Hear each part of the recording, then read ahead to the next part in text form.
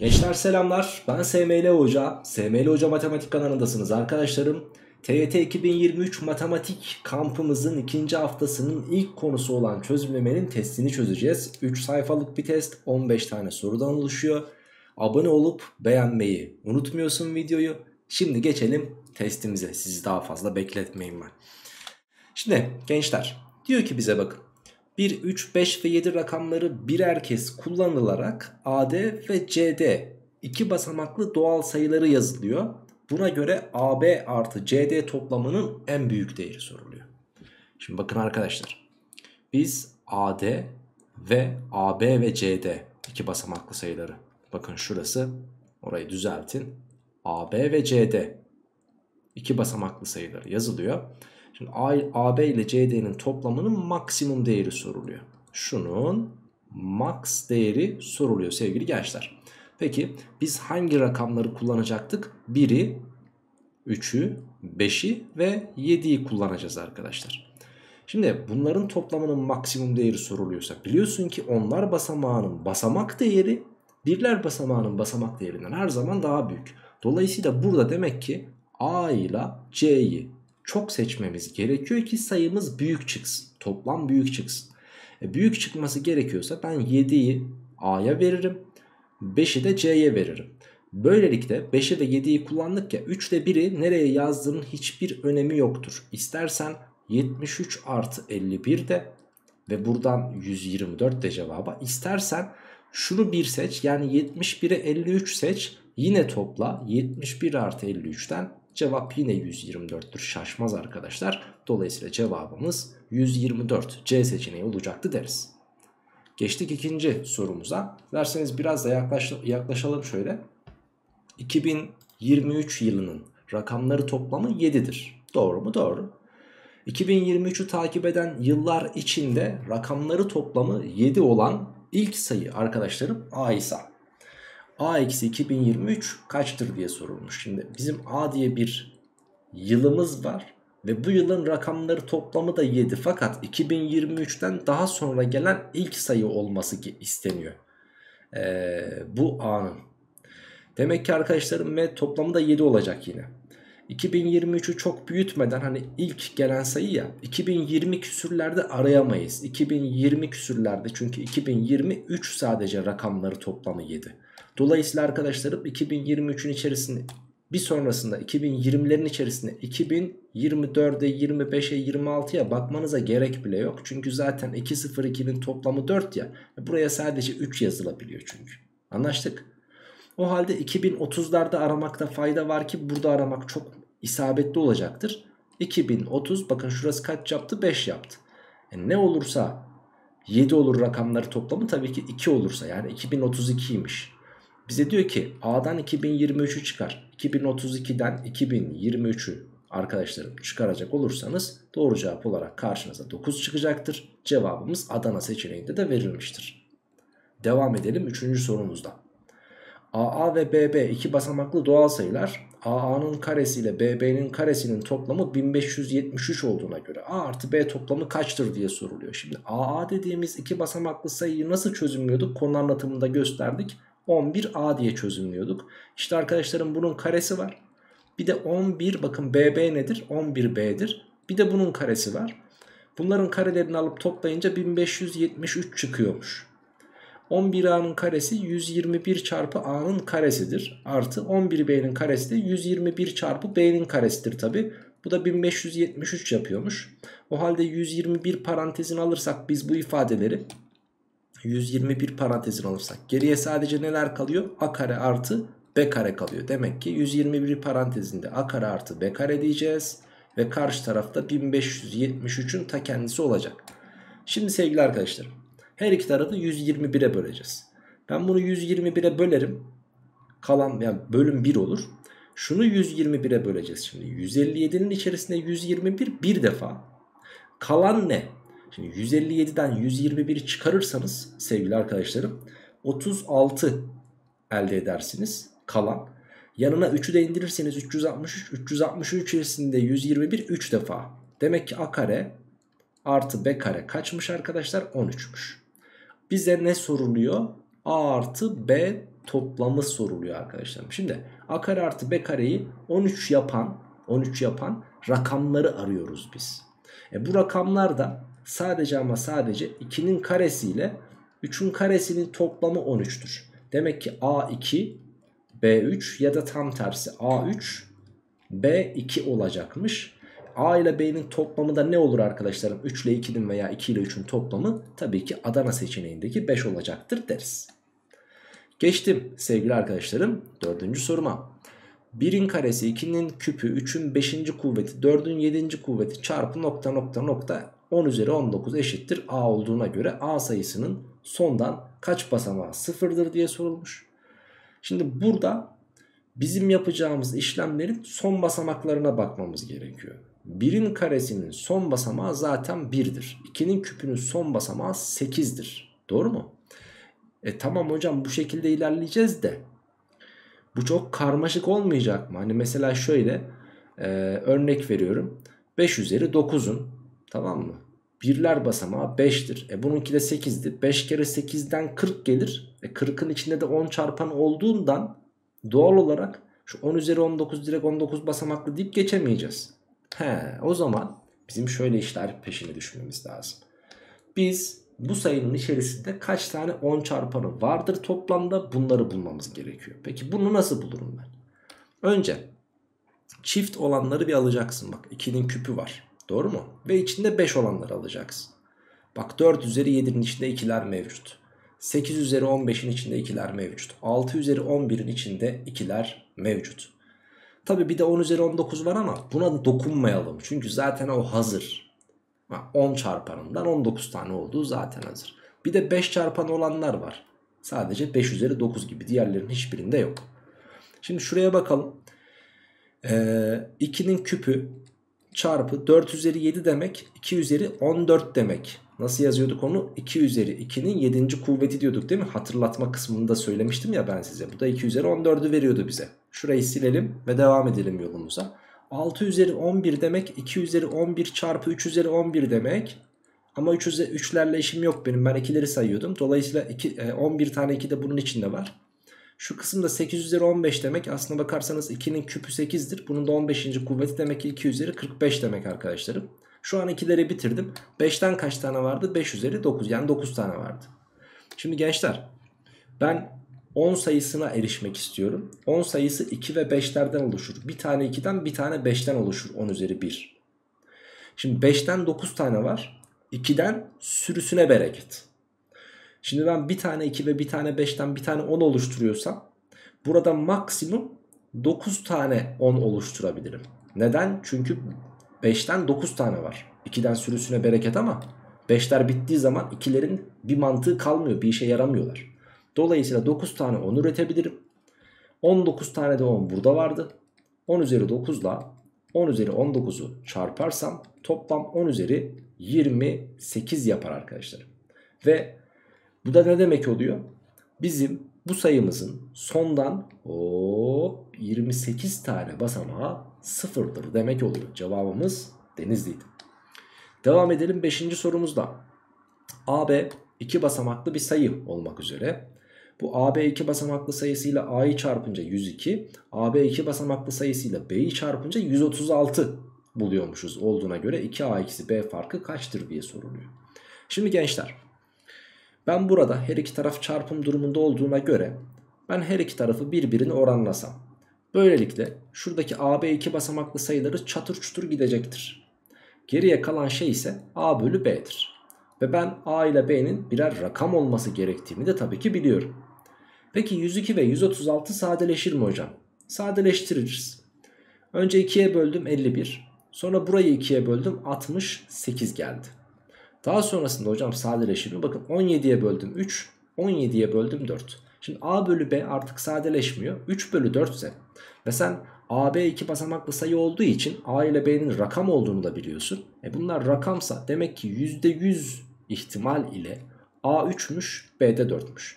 A 3 ise 2 kere 3'ten burası 6 yapar. B 4 ise burası da 4'tür. 6'dan 4'ü çıkar, çıkardığınız takdirde cevap C seçeneği olacaktır diyebiliriz. Devam ediyorum 6. sorumuzda. Ahmet ve Burak akıllarından birer iki basamaklı sayı tutuyorlar. Burak Ahmet'in aklından tuttuğu sayının tersten okunuşunu tutmuştur.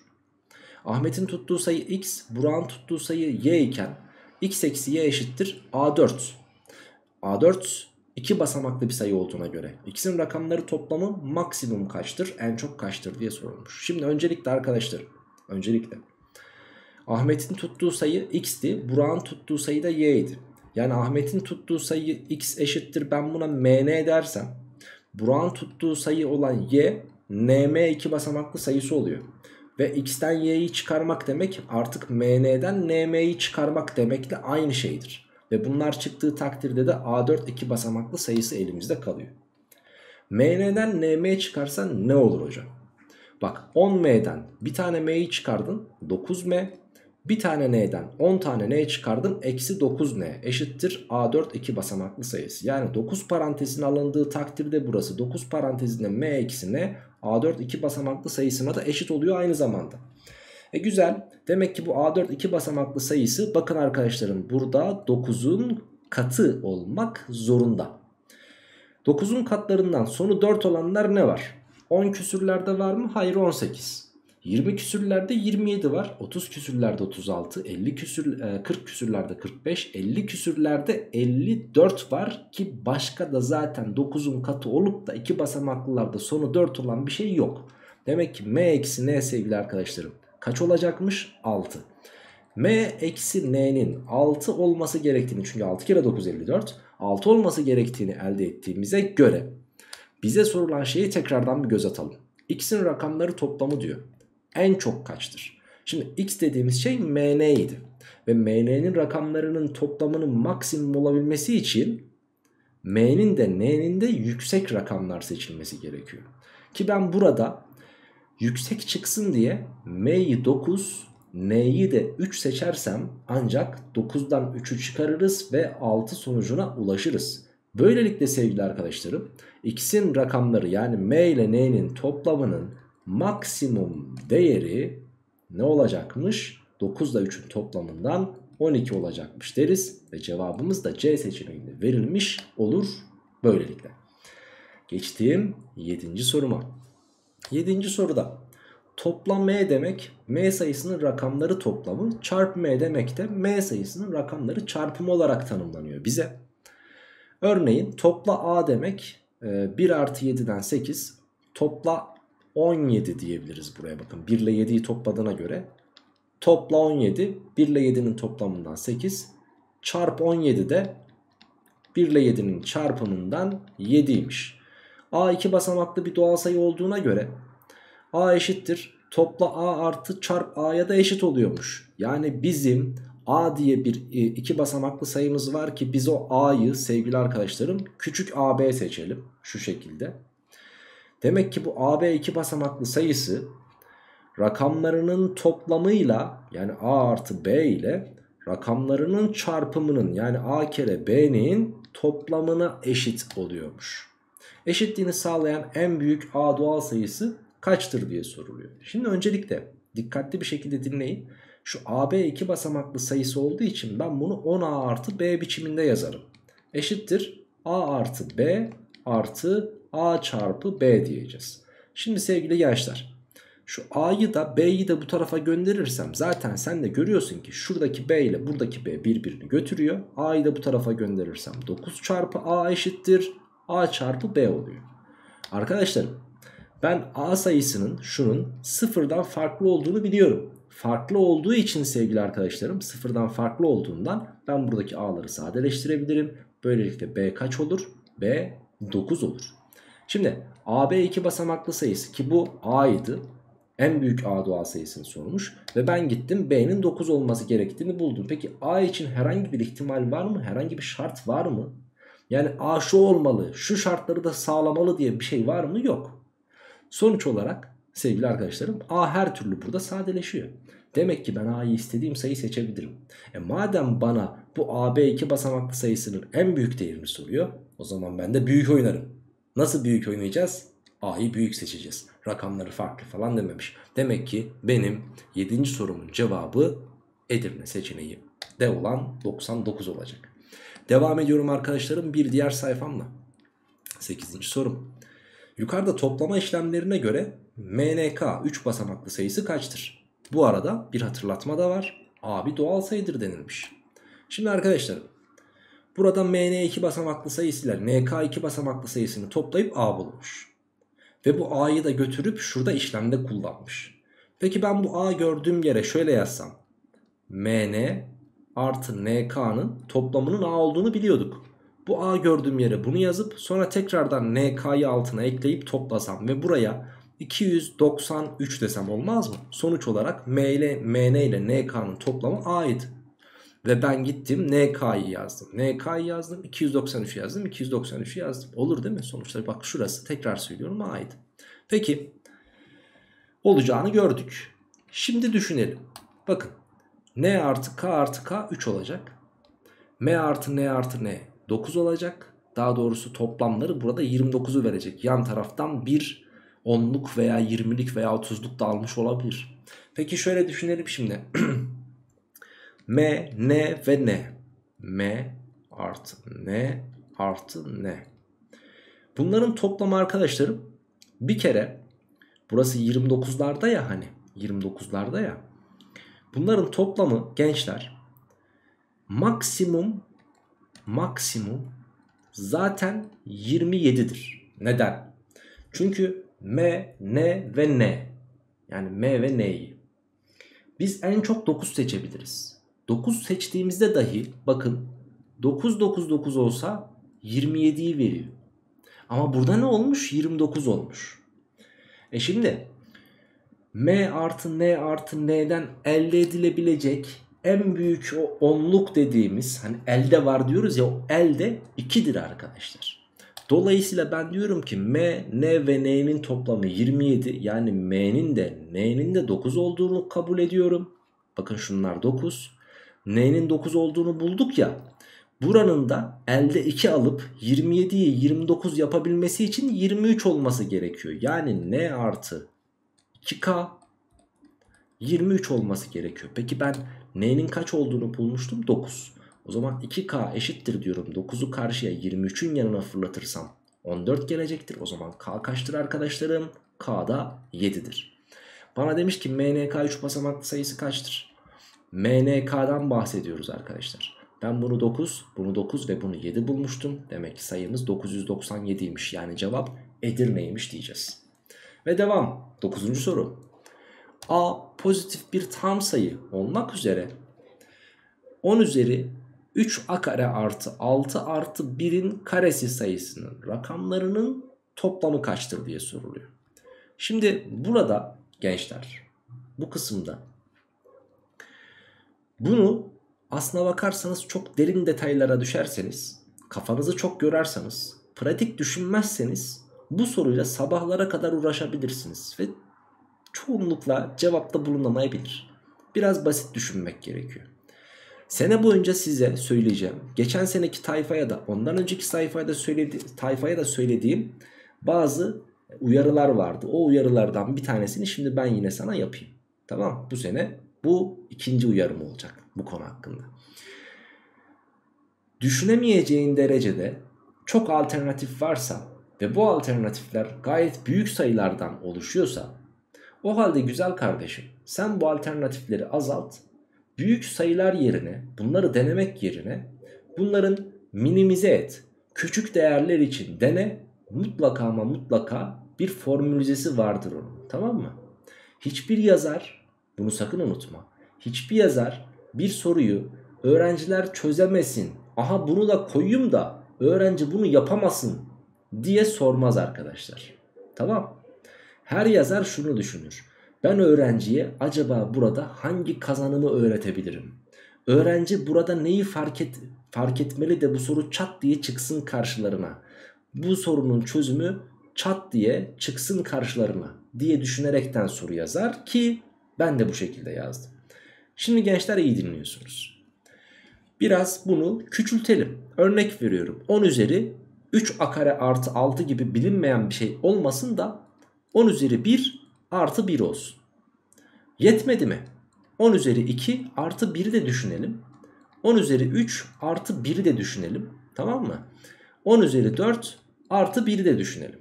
Şimdi 10'un 10 üzeri 1 artı 1 ne yapar arkadaşlarım? 11 yapar. Peki 11'in karesi nedir? 121'dir hocam. Şimdi geçtik buraya. Burası nedir arkadaşlar? 10'un karesi artı 1 101'dir. Ve şimdi 101'in karesini düşüneceğiz. 101'in karesi benim öyle ezberimde yok. Ancak şöyle yapabiliriz. 101 ile 101'i çarpalım. 101 ile 101'i çarparsanız bir kere 101'i 101 daha sonrasında sıfırlar eklenir ve daha sonrasında tekrar 101 gelir bir kere 101'den ve bunları toplayalım. 1, 0, 1, 0, 1. Bu gelir değil mi? Yok şurası 2. Şurası 2 arkadaşlar. 1, 0, 1 daha 2 yapar. Tamam sonuç bu. Bir de şunu düşünelim. Burası da 1001 yapar biliyorsun. 1001'in karesini düşüneceğiz. Karesi var. 1001 kere 1001. Hadi çarpalım seninle beraber. Eğlenceli de ha. 1001 birazdan eğleneceksin. Tekrardan 1001. Tekrardan 1001 ve tekrardan e, 1001. Yalnız şunlar 1001 değil 0 olacak. Çünkü 0 kere 1001 diyoruz. Şunların hepsi 0 arkadaşlar. Tekrardan onları yazalım şöyle. Aynen bu şekilde. Ve şimdi bunları toplayacağız değil mi? Hadi gelin toplayalım sizle beraber. 1'i aşağı çektim. Burası 0, burası 0. 1, 0, 0, 1 daha 2, 0, 0 ve 1. Şimdi arkadaşlarım şunu yapmayacağım. Gerek kalmadı çünkü. Neden biliyor musun? Bak şimdi bu formatta olan 3 tane sayıyı topladım. İlk 3 sayıyı topladım. Şunun rakamları toplamı sorulmuştu ya bize. 121'in rakamlarını topla bakayım 4. Şunun rakamlarını topla 4. Bunun rakamlarını topla 4. O zaman kimse kusura bakmasın. Burada sorulan sorunun rakamları toplamı da tabii ki 4 olacaktır sevgili gençler. Tamam. Devam ediyorum 10. sorumla. X, x, y, y sayısı 4 basamaklı bir doğal sayıdır. y x'in 2 katı olmak üzere x, x, y, y sayısı aşağıdakilerden hangisini kesinlikle tam bölünmez diye soruluyor. Kesinlik var tam bölünmez diye soruluyor. Şimdi x, x, y, y sayısından bahsetmiş ve y'nin x'in 2 katı olduğu bilgisi de verilmiş. y eşittir 2x olduğu bilgisi de var. Şimdi bakıyorsunuz şurada ben bunu x x 0 0 artı y y biçiminde çözümleyebilirim bir alternatif. Çünkü arkadaşlar konu anlatımında da bahsetmiştik. Bunların toplamı ne yapıyordu? x x y y yapıyordu. Madem öyle burada 2 0 varsa demek ki bu x x dediğimiz sayı 100 ile çarpılmıştır. Artı bir de burada ne var arkadaşlar? y y. Şimdi bu y y dediğimiz şey çözümlerseniz 11y yapar. Ve y'nin sen 2x olduğunu bildiğine göre 11 çarpı 2x dersin burası da 22x gelir. Ve arkadaşlarım ve arkadaşlarım e, şu kısımda hatta ve hatta bir daha düşünmek istiyorum. Şöyle bir şey yapsak daha da hoş olabilir. 100 çarpı xx artı 2 çarpı 11 çarpı x diyelim. Şu 11x ne demektir? 100 çarpı xx 2 basamaklı sayısı artı 2 tane xx 2 basamaklı sayısı. Bak buradaki 11x demek xx 2 basamaklı sayısı demek arkadaşlar. Siz bunları toplarsanız 102 çarpı xx yapar. Şimdi bizim elimizde artık e, şu xx y sayısını 102 çarpı xx olarak yazdık ya. Eyvallah. Bu 102 çarpı xx sayısı 102'nin bir katıdır. 102 dediğimiz şey de arkadaşlarım aslına bakarsanız 2 kere 51'dir.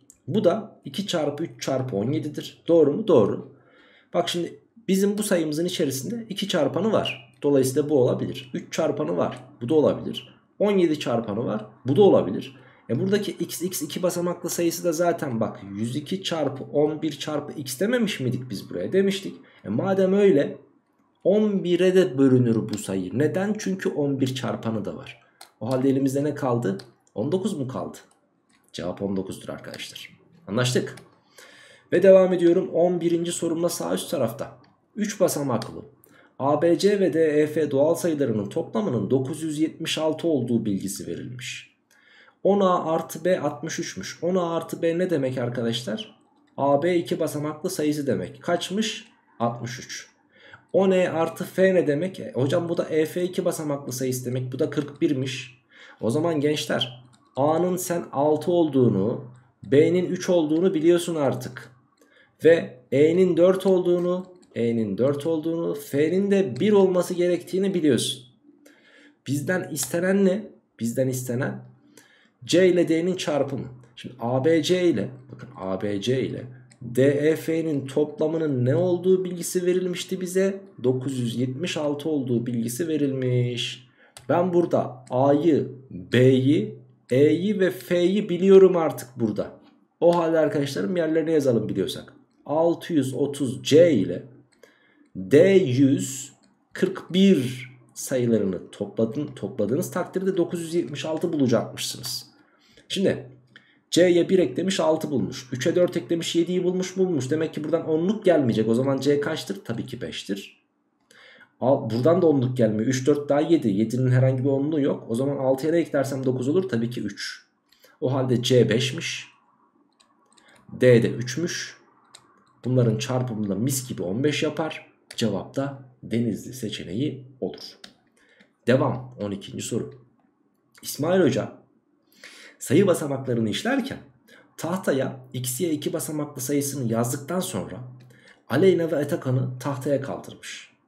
Aleyna hocasının yazdığı sayının sağına 0 eklemiş. Bak Aleyna'nın yazdığı İsmail Hoca xy'yi yazmış. Aleyna bu xy'nin sonuna bir tane 0 eklemiş. Sonra Atakan çıkmış. Aleyna'nın yazdığı sayının soluna 4 yazıp yeni bir sayı üretmiştir. Bak xy 0'ın soluna 4 yazmış. Bu da yeni bir sayı bulmuş. 4 basamaklı olmuş. Diyor ki Atakan'ın yazdığı sayı yani 4xy 0. 4xy 0. İsmail Hoca'nın yazdığı sayının 90 katıymış. İsmail Hoca 90 neyi yazmıştı İsmail Hoca? xy'yi yazmıştı. 90 çarpı xy'ye mi eşitmiş? Ne demiş bize? İsmail Hoca'nın yazdığı sayı e, İsmail Hoca'nın yazdığı sayının rakamları toplamı. Yani x artı y soruluyor artık bize. Onu anladık değil mi? Pekala. Şimdi şurayı bir düşünelim. Düşünelim. Şuradaki 4'ün basamak analizini yaparsak 4000'dir basamak değeri. Artı şurası da xy 0 ne demektir arkadaşlar? 10 tane xy 2 basamaklı sayısıdır değil mi? Eşittir 90 çarpı xy 2 basamaklı sayısı desek ne olur? Bence var ya tadından yenmez. Niye biliyor musun? Al bakayım şunu. Fırlat karşıya. 90 tane vardı. 10 tanesi eksilirse ne olur? 4000 eşittir. 80 çarpı x'ye 2 basamaklı sayısı olur. Hocam şu sıfırla şu sıfırı götürsek 400'ü de 8'e bölsek burası da 50 gelse 50 x'ye 2 basamaklı sayısıyla eşit olur mu? Olur güzel kardeşim olur. Demek ki x kaçmış? 5. Y kaçmış? E hocam o da 0. E x artı y'yi sormuştu bize. 5 ile 0'ı topla. Cevap denizde. Devam ediyorum sevgili arkadaşlarım. Bir diğer sayfam, bir diğer sorum. 13. soru. İki basamaklı 10 tane doğal sayının toplamını 20 artırmak için sayılardan birinin onlar basamağı 2 artırılır demiş. He, şimdi 10 tane sayımız var. Her birinin birler basa pardon onlar basamağını onlar basamağını 2 arttırırsam ben pardon özür her birinin demiyor sayılardan birinin sayılardan bir tanesinin sadece bir tanesinin onlar basamağını 2 artırırsam o sayı 20 artacağı için bu sayıların toplamı da sevgili arkadaşlarım 20 artacaktır. Dolayısıyla birinci öncülü yapmak mantıklı. Kaç tanesi tek başına yapılabilir diye sormuş bize. Bir tamam kabul. Tüm sayıların birler basamağı 2 artırılır. E 10 tane sayı vardı. Her biri 2 artarsa 10 kere 2'den 20 artar. Dolayısıyla ikinci de mantıklı. Sayılardan birinin onlar basamağını 1 artır diyor. Yani bir tanesi 10 artar. Diğer 5 tanesinin herhangi 5 tanesinin birler basamağını 2 artır diyor. Birler basamağı 2 artarsa 5 tane sayının 5 kere 2'den onlar da 10 artar. Ve toplam sayı, e, sayıların toplamı 20 artar. O zaman bu da mantıklı. Sayılardan birinin onlar basamağını 1 artır diyor. Yani 10 arttı. Diğerlerinin yani 9 tane sayınınkini de 1 arttır diyor. Yani 9 arttı. E 20 artmadı bu 19 arttı. Demek ki bu olmaz. Yemedi. Ne olacakmış arkadaşlarım cevabımız? 3 tanesi. Demek ki cevap Denizli'ymiş diyebiliriz artık. Devam ediyorum 14. soruyla. Güzel de bir sorudur. Kendileri dikkatli dinlemende fayda var. N bir doğal sayı olmak üzere. 10 üzeri n artı 2 eksi 64 bölü 9 doğal sayısının rakamları toplamı 63'tür. Buna göre n kaçtır diye soruluyor. Şimdi gençler iyi dinliyorsunuz. Az önce uzun uzadıya size ben notlar verdim. Dedim ki bakın hangi soru için konuşuyorum. Şöyle göstereyim size. Bakın arkadaşlarım şu soru için. Çok büyük olayları düşünemiyorsan ki kimse düşünemez merak etme. Yani Einstein'ı mezarından kaldır o da öyle çat diye göremez her şeyi. Ee, bunu minimize edeceğiz. Emin ol Einstein de öyle yapıyordu. Peki yani tümevarım kullanıyordu. Şimdi arkadaşlarım o zaman 14. sorumuz için de şöyle düşünelim. Bu 10 üzeri n artı 2'yi kafamıza somutlaştıralım. Mesela bu 10'un e, karesi olmuş olaydı. 10'un karesi. 100 olurdu değil mi? 100'den 64'ü çıkardınız. 36 mı geldi? 10'un karesi eksi 64 bölü 9. Bunun cevabı ne gelir arkadaşlarım? 4 gelecektir değil mi? Bakın doğal sayısının rakamları toplamı 63'tür demişti. Burası 4 geldi. 10'un karesinden 64'ü çıkardım. 100'den 64'ü çıkardım. 36, 36'yı 9'a böldüm 4. Peki burası ya 10'un küpü olmuş olsaydı ve ben 64'ü çıkarıp 9'a bölmüş olsaydım ne gelirdi? Şimdi 10'un küpü demek 1000 demek. 1000'den 64'ü çıkarırsanız bakın 1000'den 64'ü çıkarıyorsunuz. 936 gelecekti ve sen bunu 9'a bölersen bu sefer ne olacaktı biliyor musun? 104 olacaktı. He, tamam. Bir tane daha ilerletelim ya. Olmaz mı hocam? Ben buradan net anlamadım. Sen he dedin de ben anlamadım. Ben o he'yi diyemedim. Şöyle diyelim. 10 üzeri 4'ten 64'ü çıkarıp 9'a bölelim. Yani 10.000'den 64'ü çıkarıyorum. 10.000'den 64 çıkarırsan ne kalır biliyor musun? Şu olur. 9936 bölü 9 olur. Bu da bize şunu verir. 1104'ü verir. Şimdi bir şeyler canlanıyor mu kafanda? Şöyle desem canlanır mı peki? Onun karesi 100 ya 100'den 64'ü çıkardın. 36 36'yı 9'a böldün 4 geldi ya. Ben bunu sana 0,4 yazsam. Sonuçta 0,4 4'e eşittir değil mi? Şimdi kafanda bir şey canlandı mı? Bak 0,4 0,4 0,4 ve her basamakta da bir tane 1 iki tane 1. O zaman bir sonrakinin cevabını söyleyeyim mi ben sana? Mesela 10 üzeri 5 eksi 64 bölü 9'u hiç uğraşmadan kafamdan yapayım mı? Şudur. Sonuçta yine 0,4 gelecek ve bir tane de 1 ekleyeceğim. Anlaştık. Peki şimdi şimdi gelin şunu düşünelim. Şuraya kaç tane 1 koymam gerekiyor ki şu sayının rakamları toplamı 63 olsun. Bak 4 hep sabit. 0 4 yani rakamları toplamı 4 hep sabit. Bu 4'ün yanına sürekli 1 ekleyeceğim. Peki kaç tane 1 eklersem rakamları toplamı 63, 63 olur. 63'ten şuradaki 4'ü bir çıkaralım bakalım. Ne kalır arkadaşlar? 59 kalır. Demek ki buraya 59 tane 1 şart. 59 tane 1 buraya şart arkadaşlar. Şart. Peki 59 tane 1 olması gerektiğini bulduk. Daha sonrasında işte oranın 0,4 olduğunu bulduk. Biz biz şuradaki n'yi nasıl bulacağız? He, onun içinde bazı numaralar bulmamız gerekiyor. Şimdi bakın şöyle burası 2 iken şurayı 2 basamaklı olarak kabul ettik 0,4. Burası üçgen 104 3 basamaklı. Dörtgen 4 basamaklı. Beşgen 5 basamaklı. E şimdi 59 tane 1 2 tane de burada 61 basamaklı değil mi? Demek ki burası 10 üzeri 61 eksi 64 bölü 9'muş arkadaşlar. Çaktın mı köfteyi? O zaman 61 dediğimiz şey onun kuvvetindeki sayıymış. Yani n artı 2'ymiş. E n artı 2 61 ise n kaçtır? Hocam tabii ki 59'dur. Yani cevap Bursa seçeneğinde verilmiş deriz sevgili arkadaşım. Bu arada sevgili gençler sorumuzla alakalı 14. sorunun cevap anahtarı burada Edirne yani 62 görünüyor. Kusura bakmayın. Ne sayımız arkadaşlarım 59 olacak. Bir dizgi hatası olmuş. Tekrardan özür dileriz. Ve son sorumuz arkadaşlarım. Şimdi 15. soru demiş ki bize BA0 ve A0B 3 basamaklı BA 2 basamaklı doğal sayılar. A eksi AB tabelaları arasındaki uzaklık BC tabelaları arasındaki uzaklığa eşittir. Bakın AB tabelaları şuradaki mesafe hop buraya kadar olan mesafe şuraya kadar olan mesafeye neymiş? Eşitmiş.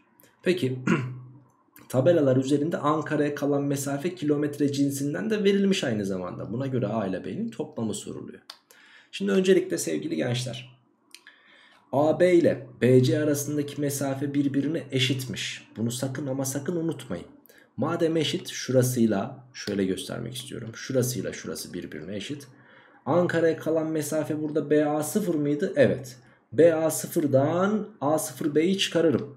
BA 0'dan A0B'yi çıkardım. Ve bu A0B'den AB'yi çıkarırım. A0B'den BA'yı çıkarırsam bunlar birbirine eşit olmak zorunda. Çünkü şu iki tabela arasındaki mesafeyi bundan bunu çıkararak bu iki tabela arasındaki mesafeyi bundan bunu çıkararak bulurum. Madem bunların ikisi birbirine eşit oluyor demek ki bunlar da birbirine eşit olacak bu farklar. Peki devam. Şurada 10 tane BA'nın olduğunu görüyorsunuz. Şuradaki eksi BA iki basamaklı sayısını bu tarafa gönderirsiniz artı BA yapar. Eşittir diyorum. Burada bir tane A0B görüyorsunuz. Burada da eksi A0B var. Bunu da bunun yanına atarsanız iki tane A0B yapacaktır. Böylelikle 11 tane BA yapar burası.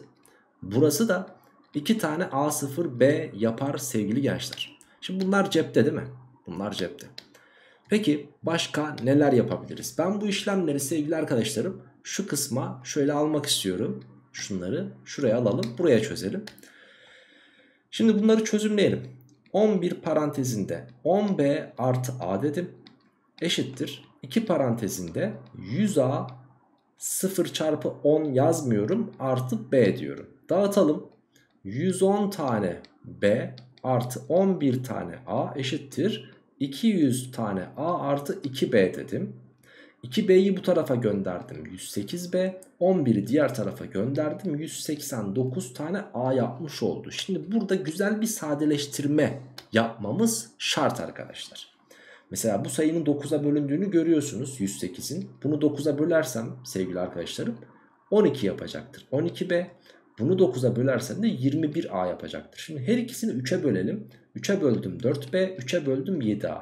a ve b'nin rakam olduklarını bildiğimizden artık bunu 7, bunu 4 seçmemizin zamanı geldi. 4 kere 7, 7 kere 4'e eşit olur. a artı b sorulmuştu bize sevgili arkadaşlarım. a 4 ise b de 7 ise 4 ile 7'nin toplamı 11 yapar. Buradaki son 3 sorumuzun cevap anahtarı sevgili arkadaşlarım hatalı kusura bakmayın. Gözümüzden fena kaçırmışız. Son 3 sorumuzun cevapları D, B ve E olacak arkadaşlar. Siz de lütfen düzeltin. İkinci baskılarda zaten düzelmiş olacak bunlar. Şunların her biri hatalı kusura bakmayın. Diyelim ve arkadaşlarım asal sayılar videosu için yarını bekleyin arkadaşlarım.